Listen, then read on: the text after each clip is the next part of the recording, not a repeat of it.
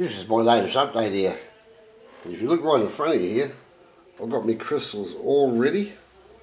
I've got this litz wire which I wound with my drill.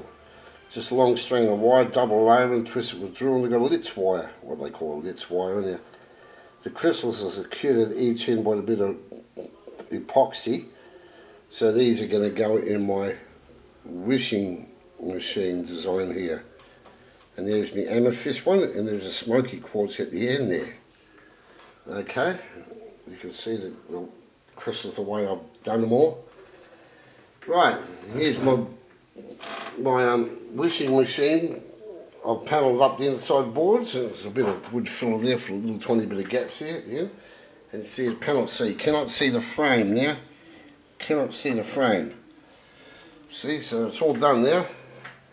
So what I'll do is I'll glue one crystal here, run the wires to there, another one up here, and run the wires to that one there, and so on there.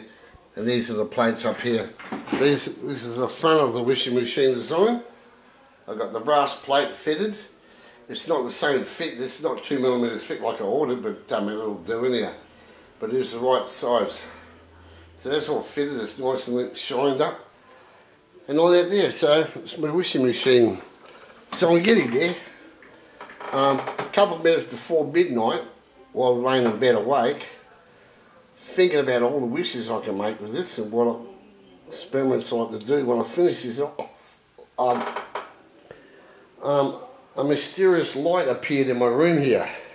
It lit up my desk area here. I sat up a little bit, my head up a little bit, and I looked towards the end of my bed and I said, what the hell is that? And there I was looking at a, a, round light that appeared at the end of my bed. It just disappeared after I watched it for a few seconds. And it's funny, eh? Just after I've been thinking about what I can do in my wishing machine, all the wishes I can make of it, that appeared. So anyhow, that's the latest update for now. And thank you for watching.